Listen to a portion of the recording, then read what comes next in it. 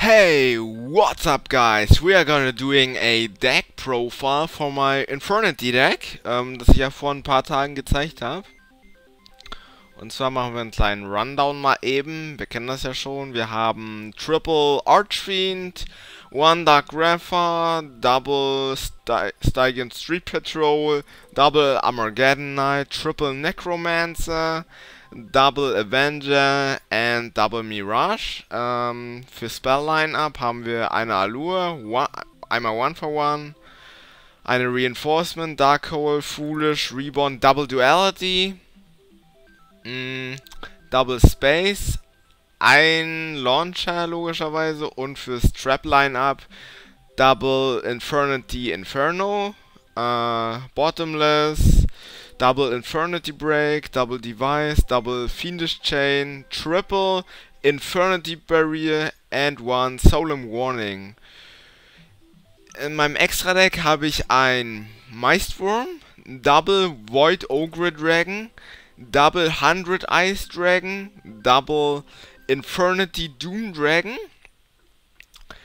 Scrap Dragon, Stardust Dragon, Gaia Knight, One Stygian Sergeant, Cataster, Double Lavalval Chain and One Levier. Okay, das, wie man auf Anhieb sieht, ist das die Synchro-Version der Infernities. Es gibt jetzt auch eine Exit-Version. Aber darum geht es in diesem Video nicht. Also warum, warum das und das und wie sind die Kombos, verstehe ich nicht, bla bla blub.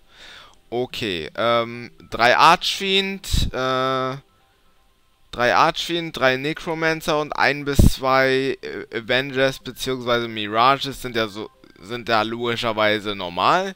Brauche ich nichts zu erklären. Also Archfiend sucht sämtliche Art äh, Infernity-Karten, wenn er gespecialt wird.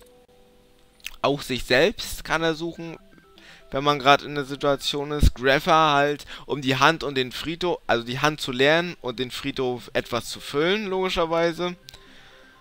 Denn, wer es nicht weiß, die Effekte der Infernities können nur aktiviert werden, beziehungsweise kommen erst, wenn man keine Handkarten mehr hat. Deswegen spielt man logischerweise auch einen relativ niedrigen Monster-Count. In diesem Fall, ich spiele 15, wie man unschwer erkennen kann. Zwei Street Patrols, der wichtige Teil ist, wenn der sich im Grave befindet, kann ich ihn verbannen, um ein Fiend-Monster äh, von meiner Hand zu specialen mit 2000 oder weniger ATK. Armageddon Knight, äh, je nach je nach ähm, Dingens äh, Hand, sag ich mal, wenn ich eine rote habe, muss ich sehen, äh, welche, welchen von beiden ich am ehesten sinnvoll finde. Wenn die Hand voll ist, voller Monster, dann Grapher logischerweise und wenn nicht, dann halt Armageddon Knight. Deswegen bin ich persönlich der Meinung, nur drei Slots für diese drei Monster zu nutzen. Das heißt, äh, entweder drei von einer Sorte, 1 zu 2, 2 zu 1 oder generell von einem nur 3. Ich bin der Meinung, dass Grapher plus 2 Armageddon Knights doch eine relativ stabile Variante ist. Necromancer ist prinzipiell unsere Plus One Machine. Wenn halt keine Handkarten vorhanden sind, darf ich ein Infernity Monster von meinem Grave specialen. Avenger Effekt ist uninteressant, uns interessiert eigentlich nur, dass er ein Level 1 Tuner ist. Mirage ist äh, im Prinzip der Launcher. Mirage, ich Tribute, um zwei Infernities auf meinem Grave zu specialen. Allure, halt um vielleicht was Totes, zum Beispiel hm, eine zweite Mirage zu entsorgen, die ich gerade nicht brauche. One for One ist auch klar. Rhoda für Armageddon Knight und Grapha. Staple ähm, um was in Grave zu kriegen, was gerade Sinn macht, oder beziehungsweise um Sachen in Grave zu kriegen, die ich, in die ich nicht reinziehen möchte. Reborn ist klar, Duality ist, denke ich mal, auch klar, Space, kein Heavy aus dem Grund, ich meine, guckt euch an, Infernities leben teilweise von ihren Barrier-Trap-Gesuche und so weiter und so fort.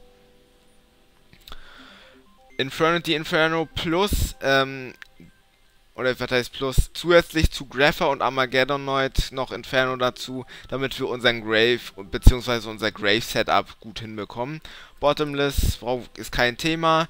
Infernity Break oder Launcher ist dasselbe wie Mirage. Du kannst, er hat im Prinzip zwei Effekte. Der wichtige ist, schick ihn von äh, Feld auf Grave, um zwei Infernities zu specialen. Der andere ist, ich kann einmal pro Zug eine Infernity von Hand auf Grave geben. Falls meine Hand ein bisschen dumm aussieht, sag ich mal. Archfiend übrigens noch das Coole, wenn, wenn ich in ihn reinziehe, während ich kein, also wenn er die einzige Karte auf meiner Hand ist, während ich in ihn halt reinziehe, darf ich ihn specialen und wenn er gespecialt wird, logischerweise darf ich mir, wie vorhin schon erwähnt, eine Infernity-Karte suchen. So, ähm, Infernity Break, ich, äh, kann ich auch nur wieder aktivieren, wenn ich keine Handkarten habe.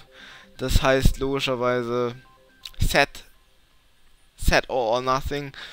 Und dann darf ich eine Infernity-Karte äh, auf Bann setzen von Grave, um eine Karte auf dem Feld zu schießen. Nee, auf der eine Karte meines Gegners zu schießen. Kann ich zum Beispiel den Launcher bannen, die Mirage, die mir gar nichts nützt, nicht wirklich.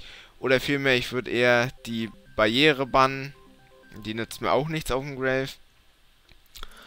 Äh, Device und Chain ähm, sind selbsterklärend. Chain aus dem Grund, ich kann, denke ich, kann, kann schließlich keine Effektwähler und Maxis spielen oder ähnliche Geschichten. Deshalb muss ich auf sowas zurückgreifen. Infernity Barriere auf drei best, beste Konterfalle oder beste Falle, die das Deck haben wird. Und ein Solemn. Extra Deck mal eben durchgehen. Meistwurm, wir können auf 9 gehen. Ich, da ich aber nicht den Beetle spiele, ich gebe mal kurz ein, und, um, damit man sich mal eben ein Bild machen kann. Hier der Infernity Beetle, Level 2 Tuner, Effekt, wenn du keine Handkarten hast, tribute ihn, um bis zu zwei andere Infernity Beetles aus deinem Deck zu specialen. Der wäre vielleicht eine Option, wenn man nicht, nicht so auf, wenn man eher auf 9 gehen möchte. Aber gut, jedem das seine, ne? Void Ogre Dragon, ähm, im Prinzip der Shien, sprich der Negierungseffekt von Shien, aber nur aktivierbar logischerweise, wenn wir wieder keine Handkarten haben. Passt eigentlich perfekt in dieses Deck, beziehungsweise wurde dafür konzipiert. Plus, es hat nicht die Schwäche von Shien, dass er überrannt wird. Ich meine, er hat 3000 Def und ATK und da muss man erstmal drüber kommen ohne Spells und Traps. Zumindest ohne eine. So, dann haben wir 100 Ice Dragon. Da gibt es eine Combo, beziehungsweise wie man schnell seine Barrieren ranholen kann. Infernity Doom Dragon, sozusagen der Hyperion als Synchromonster. Und hat auch einen Volker-Effekt sozusagen. Also der schießt im Prinzip. Wichtig ist, wenn wir eine Face-Down-Karte schießen, äh, oder vielmehr ein Face-Down-Monster kann nur Monster schießen, wenn wir eine Face-Down, äh, ein Face-Down-Monster schießen, dann werden dem Gegner keine Life-Points abgezogen, da wir die ATK nicht identifizieren konnten. Oder Doom konnte ihm nicht identifizieren. Scrap und Stardust sind drin, um halt für den Notfall, da sie meistens eh nie gerufen werden. Gaia, falls wir mal auf 6 gehen müssen, halt just in case. Stygian Sergeant, sozusagen BLS, in klein für Infernities. Ähm, wenn er ein Monster im Kampf zerstört, muss ich, darf ich gleich nochmal angreifen. Aber dann mit 800 ATK mehr. Catastor ist auch klar. Ähm, Lavalval Chain, ich meine, was, was gibt's ein besseres?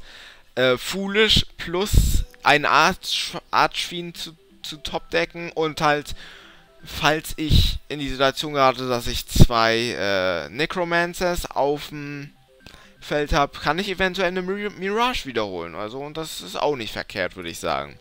So, dann zu ein paar Kombos im Prinzip. Ähm, Im Prinzip ist es so, du musst gucken, ich muss meine drei Monster rankriegen, die aus Feld kriegen, Synchro 8 machen, Barrieren ranholen.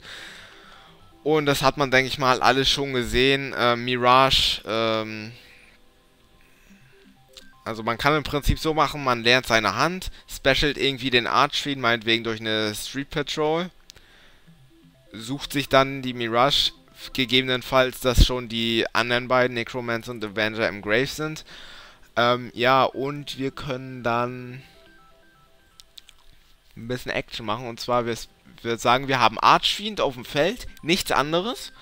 Ähm, Mirage, wir holen uns Avenger und äh, Necromancer vom Grave, haben eventuell noch einen anderen Archfiend, aber das haben wir dahingestellt, das ist uninteressant gerade. Ob wir noch einen im Grave haben oder nicht. Dann können wir nämlich folgendes machen. Wir gehen auf Synchro 8 wir gehen einfach mal vorzugshalber auf Void Ogre Dragon, um ein bisschen Sicherheit zu haben. Oder nee, anders. Da wir Mirage im Grave haben, können wir auf 100 Ice Dragon gehen.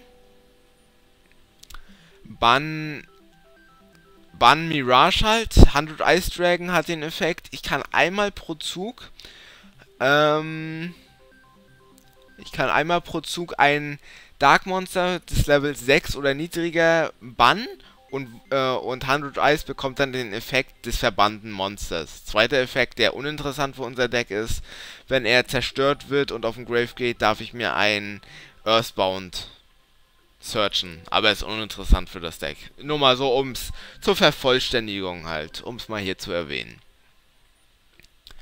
Äh. Okay. Wo waren wir? Achso, genau. Und damit können wir im Prinzip unsere Barrieren oder ähnliche Geschichten, vielleicht unseren Launcher, um das Ganze nochmal zu machen, um zwei Barrieren ranzuholen. Nur mal so als Beispiel, wozu der 100 Eyes da ist. Also es ist im Prinzip entweder um Necromancers Effekt zu usen oder halt um Mirage Effekt zu, zu usen, beziehungsweise zu reusen. Ähm, Scrap Stardust, ja, der Rest ist eigentlich selbst erklärend. Also wenn man, wenn man erstmal den Bogen raus hat, beziehungsweise das Deck läuft, dann ist das alles kein Thema. Dürfte eigentlich locker flockig von der Hand gehen. Und ja, äh, wenn noch Fragen sind, Ideen sind, Meinungen sind, Vorschläge sind, dann bitte in die Kommentare. Wir sehen uns im nächsten Video wieder. Also bis dann und ciao.